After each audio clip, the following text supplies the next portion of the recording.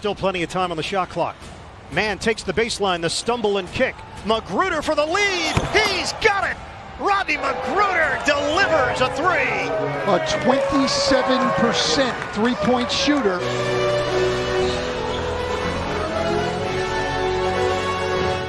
This one for the tie. 22 points. His first free throws of the day. Missed them both. Rebound knocked around. Nurkic got a hand on it. Shamet controls. And it's going the other way. With 15.5 on the clock, Lillard just missed on a pair of free throws with his team down by one.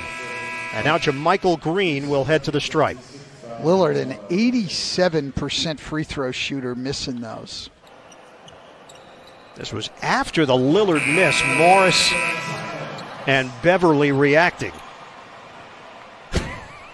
I mean, Patrick Beverley's not playing, but he's still enjoying himself. Yeah, just don't get hurt over there, Pat. I mean, you know, you're out with an injury and now you're falling off the, you know, table there, whatever. It's on a pair, and that will do it. McCollum tosses at the horn, and he cans it. The Clippers hand the Blazers a big bubble blow. 122 to 117.